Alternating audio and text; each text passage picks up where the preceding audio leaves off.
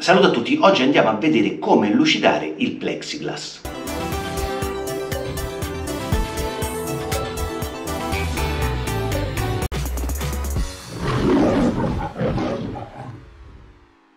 Alcuni di voi mi hanno chiesto sotto i commenti dei video su YouTube come lucidare il plexiglass. Ecco, vi faccio vedere come recuperare, come lucidare delle parti in plexiglass o vetro sintetico che è la stessa identica cosa che magari sulle finestre, su determinate cose, anche alcuni acquari, tipo quei vetri tondi, all'acquario di Genova, per esempio, sono fatti in vetro sintetico, in plexiglass o comunque un materiale plastico trasparente, che non è il policarbonato dei fari delle auto, è un altro tipo di eh, plastica che viene utilizzato al posto del vetro vero, quindi chiamato vetro sintetico ma è plexiglass.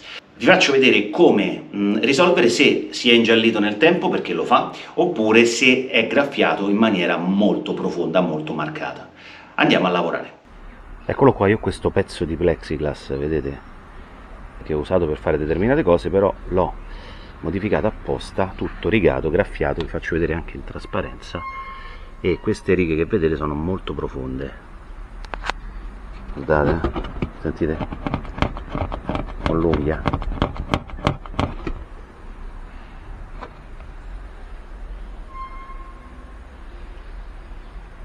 Ok, vi faccio vedere come farlo tornare bene. Ecco qua questa è sempre la stessa lastra vedete?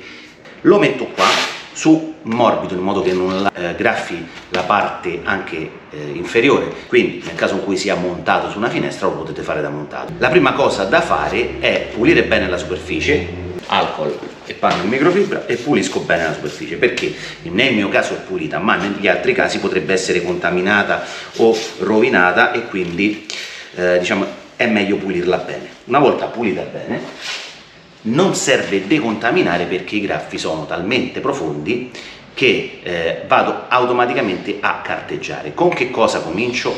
Allora, dipende da quanto è profondo il graffio. In questo caso, siccome si sente bene con l'unghia, io partirei con una 400 addirittura, quindi per allisciare tutto quanto. Non è come il policarbonato delle auto, il plexiglass è più morbido, quindi è più facile da rigare e più facile anche da lucidare e carteggiare. Quindi parto con una 400.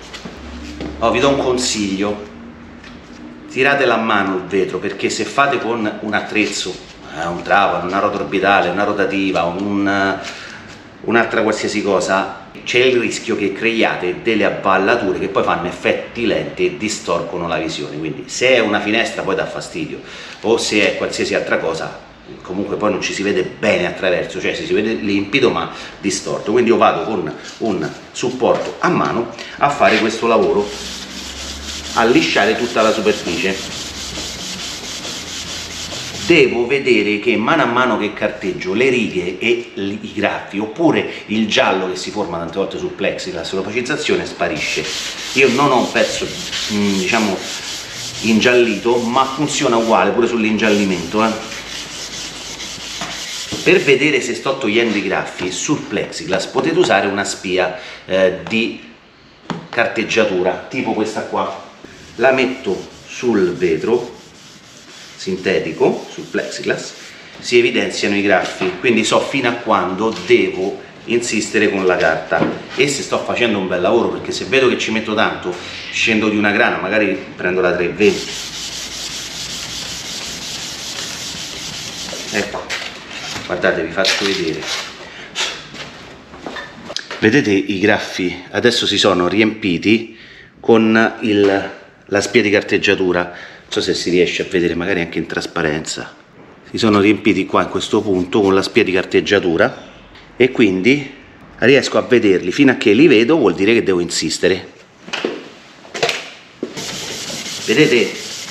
Cambio movimenti direzione circolari, non faccio sempre lo stesso per non scavare la superficie e mi allargo, cioè nel senso devo creare una superficie piana, perché se no poi distorce, come vi dicevo prima.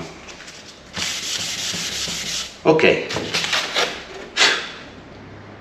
non li vedo più i graffi e quindi passo alla grana successiva, prendo la 600. Oh, in questo caso io la uso ad acqua perché ce l'ho, ma a è la stessa cosa.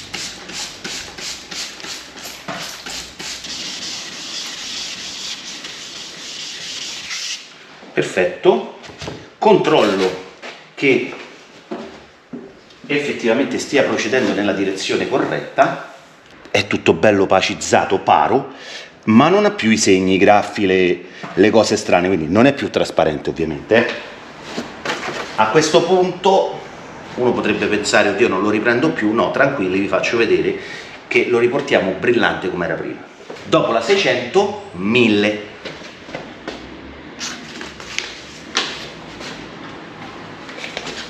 Sempre ad acqua, oramai parto con le carte d'acqua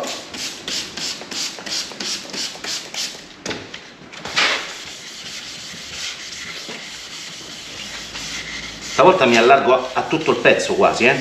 se è ingiallito paro lo dovete fare tutto. Se ci sono solo dei graffi limitatevi alla parte quella rovinata.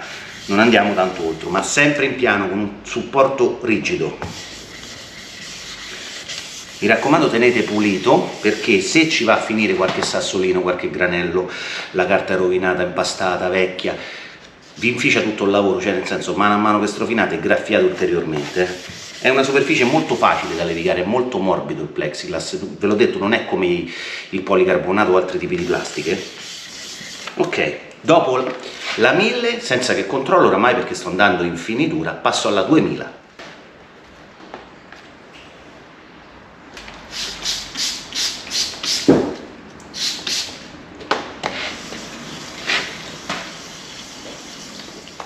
Perfetto, adesso diciamo che abbiamo due alternative finita la carteggiatura. O proseguiamo con le carte 3000, 4000, 6000 e 8000 e poi andiamo a mano oppure si parte direttamente con la lana perché vi dicevo che è abbastanza morbido e una lucidatrice. Può essere anche rotativa perché non lascia suirle sul plexiglass non, non vi rimane poi tutti quei circoletti come sulla vernice. Quindi io per velocizzare andrò con la lana e la lucidatrice. Una pasta abrasiva eh, diciamo serve abbastanza potente non proprio una da sgrosso ma ecco questa qua per esempio la vai una 2 in 1 una pasta che sia sia da taglio che da finitura.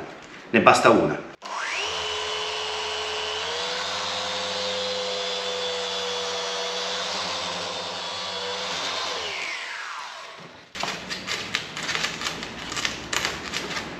finisco di lucidarlo e ve lo faccio vedere. Ecco lo stessa visuale di prima vedete? Non distorce ci si vede bene. Tutte le angolazioni, i graffi non ci sono più, è ancora un po' sporco ma lo devo pulire, però diciamo che abbiamo ripreso anche il plexiglass senza troppa fatica.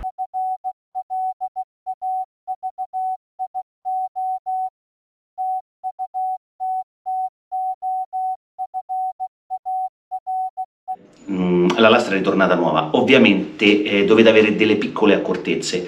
La prima è di non scaldare troppo la superficie, quindi all'inizio partite a secco con a mano, non fa nessuna eh, diciamo attrito, nessun sfregamento troppo forte, quindi non scalda, ma se utilizzate delle macchine, dei macchinari cercate di tenere più freddo possibile il vetro.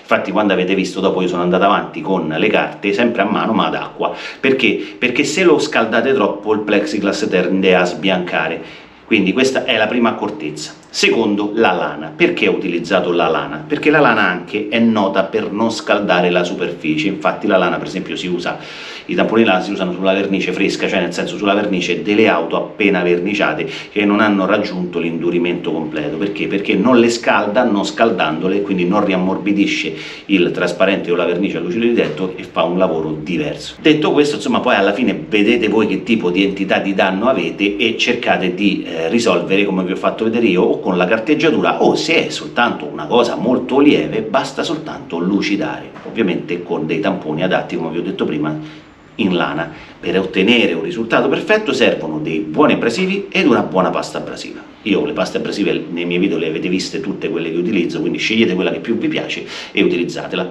Spero di esservi stato utile, spero che il video vi sia piaciuto, continuate a farmi nei commenti le vostre richieste su qualche tutorial in particolare, mettete un bel like, se non l'avete fatto iscrivetevi al canale, ciao, al prossimo tutorial.